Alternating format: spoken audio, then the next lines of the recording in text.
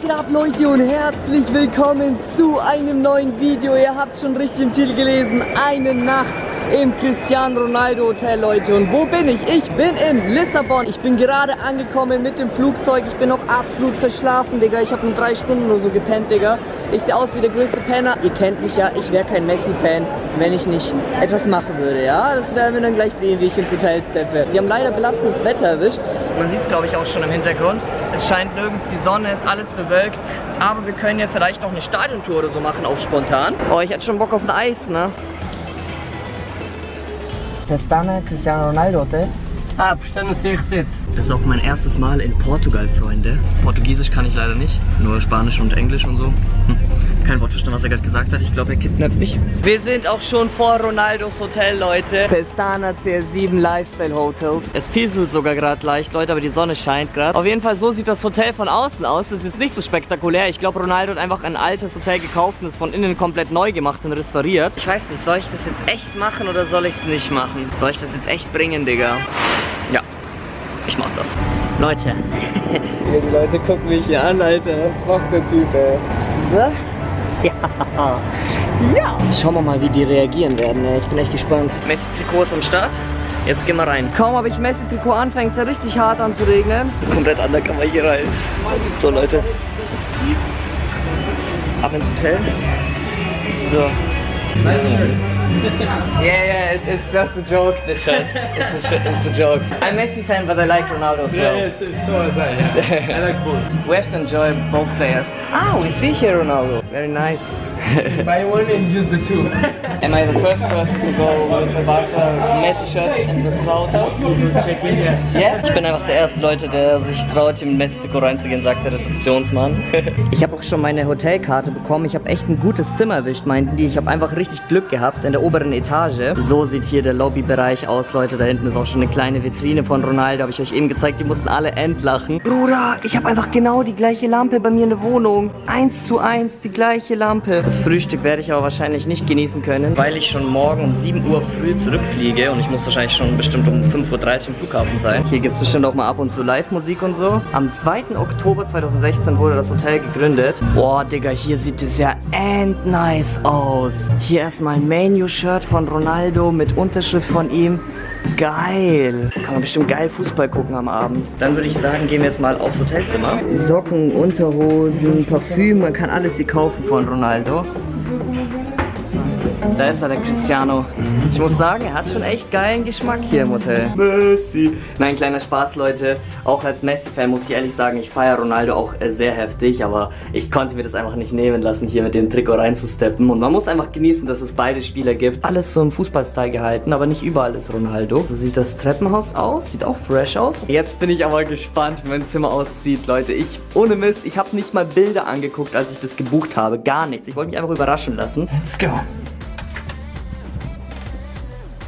Okay. Gehen wir mal als erstes ins Badezimmer und wow. Lol, habe ich einfach eine Ronaldo-Autogrammkarte bekommen auf dem Bett. Seht ihr die? Wie nice ist das denn? Man kann hier einfach von hier ins Schlafzimmer durchgucken. Hier ist noch eine schöne Badewanne, Digga. Oh, das ist ja endgeil. Dann kann man bestimmt den Fernseher drehen. Und hier einfach im Bad chillen. Okay, hier hinten ist die Keramik. Steht hier auch noch irgendwo Ronaldo? Nee. Oh, jetzt kommt auch die Sonne raus, Digga. Geil. So, Waschbecken. So sieht das hier folgendermaßen aus. Alter, wie geil ist denn bitte dieses Hotelzimmer? Ich freue mich schon auf die Dusche. CR7 Duschgel sogar. Pestana, Pestana. Gibt, ah, da ist noch ein Bademantel hier. Ein CR7 Bademantel oder was? Auch noch. Steht auf den Kartoffeln auch CR7? Ich glaub's nicht. Nee. Da hat Cristiano gespart. sehr, sehr schönes Zimmer. Okay, ziehen wir mal ganz kurz hier die Barca-Schuhe aus. Hier mit meinem Logo von Scuff geschickt. Scuff. Ja, safe. Man kann den bestimmt drehen. Und dann kann man da im Bad chillen. Oh, das ist endgeil. Hier überall Spiegel, jubelnde Leute, eine Lampe. Sieht echt nice aus, Digga. Also ich muss ehrlich sagen, das Hotelzimmer ist richtig schön. Oh, und wir sehen auch schon den Meereskanal da. Nice, Digga. Kann man hier mal aufmachen? Französischer Balkon. Wie geil ist dieses Hotelzimmer, bitte? Freue mich gerade ends, Mann. Es sieht nicht mal gedruckt aus, die Unterschrift. Aber als ob Ronaldo hier bei jedem Gast eine originale Autogrammkarte hinschreiben würde. Ah nein, das ist einfach eine Postkarte. Jetzt check ich's. Okay, es ist doch gedruckt, Leute. Aber trotzdem, richtig geiles Detail hier. Mein Name wäre aber nicht Viscavasa, wenn ich nicht noch etwas im Petto hätte. Weil die Bettwäsche, ich glaube, da kann man noch ein bisschen was ausbessern, ne? Wir haben mal das Bett hier neu bezogen, würde ich sagen. Es hat nicht ganz geklappt, wie ich es wollte, weil die Bettwäsche ein bisschen zu klein ist für die Decke. Aber auf jeden Fall, Leute, so lässt sich schon besser schlafen hier im Ronaldo Hotel. Schreibt mal in die Kommentare, wer ist eurer Meinung nach der bessere Messi oder Cristiano Ronaldo. Ich bin unten wieder bei der Rezeption, Leute, und wir fahren jetzt nämlich ins Sporting Lissabon Stadion und gucken uns noch das Museum an, Leute. Da werden bestimmt auch einige Sachen von Ronaldo ausgestellt sein. Ihr wisst Bescheid, Ronaldo sein Jugendverein Sporting Lissabon. Wir sind vom Sporting Lissabon Stadion. Ich check's, hier ist einfach wie ein Einkaufszentrum da drin, Digga. Burger King, Lidl, alles am Start. Einfach in einem Stadion. Noch nie so ein Stadion gesehen, Digga. Sieht aus wie ein Einkaufszentrum von außen. Sieht aus wie so ein Assassine, ey. Das ist einfach der Sporting Lissabon Bus. Hier ist niemand. Ich bin gerade allein im Stadion. Wir sind jetzt hier schon im ersten Raum. Hier finden die Pressekonferenzen statt. Wir gehen jetzt in die Umkleidekabine, dort darf ich aber leider nicht filmen innen. Hier ist quasi der Spielertunnel, Leute. Hier gehen die Spieler nach oben, dann zum Rasen und so. Wir waren gerade eben in der Auswärtskabine und äh, ja, die Auswärtsmannschaft muss wirklich durch so einen riesigen, langen, grünen Tunnel laufen, durch den wir auch gelaufen sind. Alles ist hier sehr grün gehalten und da in den Katakomben, ich dachte, das hört nicht auf. Man muss bestimmt locker 80 Meter oder so durchlaufen durch so einen grünen Tunnel, bis man in die Kabine kommt als Auswärtsmannschaft. Hier begann Ronaldo seine Profikarriere, Digga. Oh, nice echt geiles Stadion. Holy moly, der Rasen. Oh, ich liebe einfach Profirasen. Von da unten kommen dann die Spieler hoch, hier durch. Zack. Ich pack's immer noch nicht, dass hier einfach Burger King und so im Stadion ist. Habe ich noch nie gesehen sowas. Jetzt gehen wir noch ins Museum. Mal gucken, ob da noch ein altes Trikot von Cristiano ist. Mit Sicherheit. Das war das erste Trikot von Sporting Lissabon, Leute. Sieht aus einfach wie ein Hemd, Digga. 1908. Und das war die allererste Trophäe. Oh mein Gott. Ich habe noch nie so einen riesen Pokal gesehen. Das ist fast so groß wie ich. Wie viele Trophäen haben die bitte? Ich finde, die sehen aus wie so Harry Potter Trophäen. Ach so, das sind schon die aktuellen Trophäen von 2018. Das ist ja nicht mehr normal, Leute. Schaut euch das an. Alles voll hier. Wow. Wow. Sieht das heftig aus. Das war, glaube ich, das erste Trikot von Ronaldo mit der Nummer 28. Da ist der kleine Bub. Digga, da sieht man richtig in seinem Gesichtsausdruck, wie heftig er sich gefreut hat. Oh, der erste Spielerpass von Ronaldo. Digga, wie süß sah er bitte aus. Oder da oben.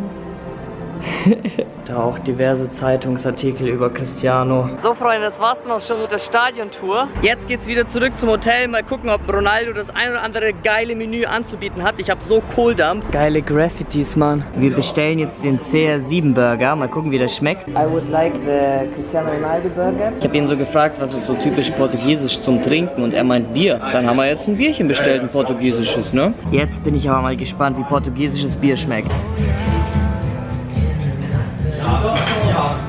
Richtig gut. Endlich CR7 Burgerblick. Ein Spiegelei drauf, Digga, auf dem Burger. Oh, schmackhaft, Digga. Mmh, ehrliche Meinung. Richtig geil, einfach nur. Dort an der Ecke ist das Ronaldo Hotel und wir sind jetzt hier bei so einem fetten Platz. Jetzt gehen wir mal Richtung Wasser. Hier sieht es überall echt nice aus. Natürlich schaffe ich jetzt nicht alles in einem Tag, aber ich glaube, dort bei der Brücke ist bestimmt auch ein richtig geiler Spot.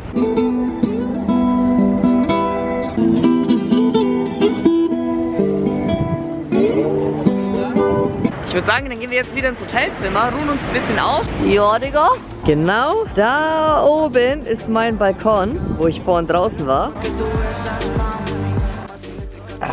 Ich glaube, ich lasse mir jetzt echt ein Bad einlaufen. Ich habe so lange nicht mehr gebadet. Ah ja! Bettwäsche ist nicht mehr drauf, weil die hat von der Größe nicht gepasst. Das war einfach nur so lustig für das Video.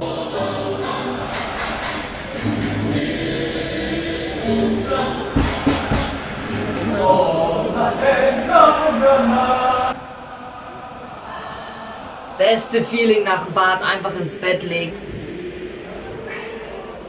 Bevor ich es vergesse, hinterlasse ich mal kurz hier eine Botschaft für die Putzfrau morgen. Schaut mal, wen ich hier habe. AJ und Arthos. Einfach heute random am Flughafen getroffen. Richtig lustig. Was machen wir jetzt, Jungs? Ein paar Bierchen schlürfen oder was? Jeden. Hier sind einfach Schienen, aber die hören einfach auf. Und da hinten sind so Straßenbahnen. Sieht aber ends nice aus. Schaut mal, Leute, was für eine heftige Location für ein Insta-Pick. Sieht ja richtig krass aus. Hier ist auch noch ein Ronaldo-Trikot, Leute. Wir sind wieder im CR7-Hotel. Trinken wir noch ein bisschen was. Endgeil hier mit den Lichtern und so. Ein DJ spielt auch schon. Ich gönn mir Mojito. Athos gönnt sich ein portugiesisches Bier. Besser als das deutsche Bier. Ja, schon, ne? Schon, echt? Okay. Und AJ? Ah ja. Also Jungs, war schön mit euch. Ciao, ciao. Tschüss. Hau rein, Digga. Ciao, schön, schön euch kennengelernt zu haben. also dann, ne? Tschüss. Bye, bye. Nee, nee, ich verschlaf nicht. Tschüss. Digga, ich bin so hart müde, Mann. Kann jetzt auch wieder nur vier Stunden schlafen und werde noch direkt nach München zurückfliegen. Heute den ganzen Tag gedreht hier für dieses Video in Lissabon. Echt ein geiles Hotel. Also von mir kriegt Ronaldo auf jeden Fall fünf Sterne. Auch wenn dieses Hotel nur vier Sterne hat, in Anführungsstrichen nur. Vielen Dank fürs Zuschauen. Haut rein. Bis zum nächsten Mal und ciao, ciao. Tschüss.